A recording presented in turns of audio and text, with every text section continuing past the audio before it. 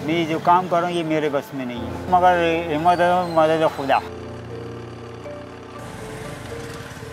मुश्किल है, बहुत मुश्किल से चल रहा है। मुश्किल से, बहुत मुश्किल से चल रहा है। हजूर पाक सल्ला अलैहि वसल्लम, हज़रत अबू बकर सद्दीक रज़ी अल्लाह तआला उमर फारूक रज़ी जंगलों में निकल जाते थे। कोई भूखा तो नहीं, कोई परेशान तो नहीं है। यहाँ पे हुकूमत अल्लाह की हाफिज है।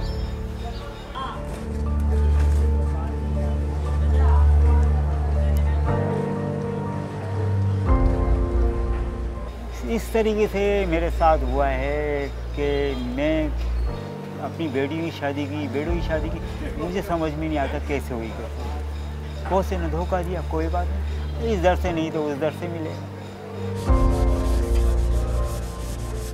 मेरा नाम मोहम्मद खलील, वल्द मोहम्मद इस्माइल। और मैं स्प्रे पेंटिंग का काम करता मेरी कम से कम अट्ठावन या साठ के करीब। फैमिली मेरे चार अफराद हैं। चार बच्चे हैं और दो मियाँ बीवी दो बेटे हैं और दो बेटी हैं। दोनों बेटे काम करते हैं। एक पॉलिश का काम करता है फर्नीचर पॉलिश और एक जो है लेडो को रिपेयरिंग का काम करता है।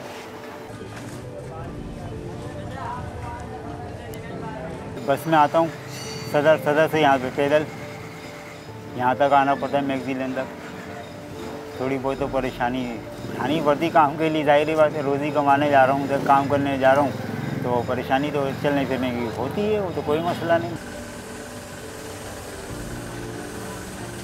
मैं जो काम कर रहा हूँ ये मेरे बस में नहीं है ये मुझे अल्लाह पाक से लाना है जो कि मैं चल रहा हूँ। बस नेक नियति से काम कर रहा हूँ मैं दिल लगा के काम कर रहा हूँ हडरामी नहीं अपना काम एक घंटे काम दो घंटे में नहीं करा वही अपनी प्रोसीजर उसी हिसाब से चल रहा हूँ। तकलीफ़ तो होती है, परेशानी होती है, थकन होती है, जिसम में दर्द भी होता है, बुखार भी होता है, मगर हर चीज़ को कंट्रोल लेके चलना, जैसे काम में अपने कंट्रोल लेके चल रहा हूँ, काम को कर रहा हूँ, इसी तरीके से मुझे अपने आप के जिसम को भी देखना पड़ता है। मगर हिम्मत मदद खुदा।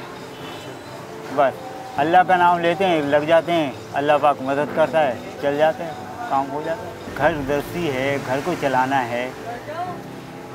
घर का खर्च चलाना है तो इसलिए हर मुश्किल को सहना पड़ता है। मुश्किल तो आती है।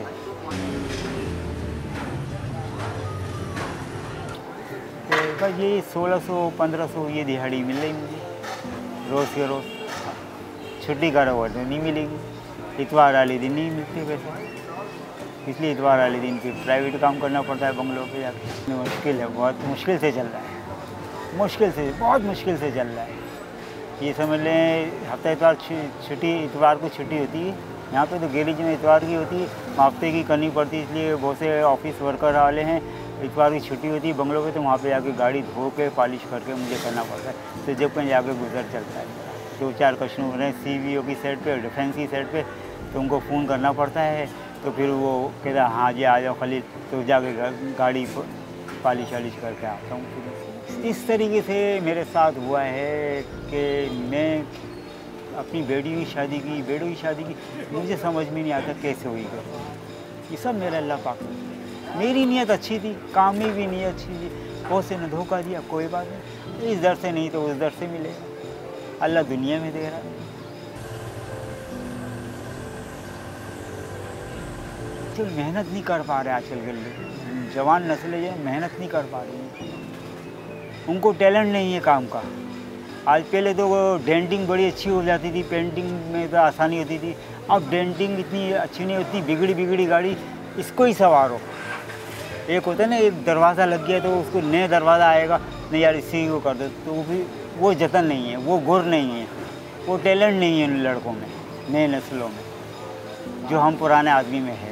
हम उसको सवार देते हैं। कस्टमर आते हैं हमारे पास क्योंकि एक दफ़ा काम करके देते हैं तो ज़ाहिर बात उनको अच्छा लगता है तो ज़ाहिर बात दूसरी गाड़ी भी लेकर आते हैं। अब हम काम ख़राब करके देंगे तो ज़ाहिर बात एक काम कोई नहीं लेकर आएगा हमको भागना पड़ेगा। फिर इन शुम से काम मेहनत से करते हैं। अच्छा प्रोसीजर से, अच्छी तरीके से काम करते हैं। काम आता है यहाँ ये चीज़ है कि यहाँ पे जब काम कर, पैसे मुझे वक्त मिल जाते हैं दिहाड़ी के। तो इसलिए लगे रहते हैं। अब ये नहीं कि काम कर रहे हैं तो शाम को यार आज पैसे नहीं मिले भाई, कल लेना। तो फिर इससे दिल टूट जाता है। क्यों मेहनत को, जज्बा वो ख़त्म हो जाता है। एक होती ज़बान अब इन्होंने काम पकड़ा है सेठ ने, हमारे ऊपर पकड़ा है ना। अब हम हमारे ऊपर पकड़ी दो दो गाड़ी हैं, भाई ये करनी है, और हम ना आए तो फिर बुरी सी बात होगी। दिल उनका भी टूटेगा। तो ये ज़िम्मेदारी है हमारी। इसको निभाना पड़ता है हमको। बोले भाई, काम पकड़ा, हमारे बलबूते पे काम पकड़ा है तो हमको लाजमी जाना है। मैं क्या अपील करूँगा? इतनी हवा में उनको अंदाज़ा नहीं है। हजूर पाक अलैहि हज़रत अबू बकर सद्दीक रज़ी हज़रत उमर फारूक रज़ी जंगलों में निकल जाते थे। कोई भूखा तो नहीं, कोई परेशान तो नहीं है। यहाँ की हुकूमत अल्लाह हाफिज है। तो वैसे हुक्मरानी तो चल ही नहीं रही। तो क्या कहेंगे भाई? वक्त को धोखा ना दें। वक्त पे काम नहीं आज वक्त के साथ चलेंगे, वक्त के साथ तो वक्त आपके साथ चलेगा। बस मेरे तो यही है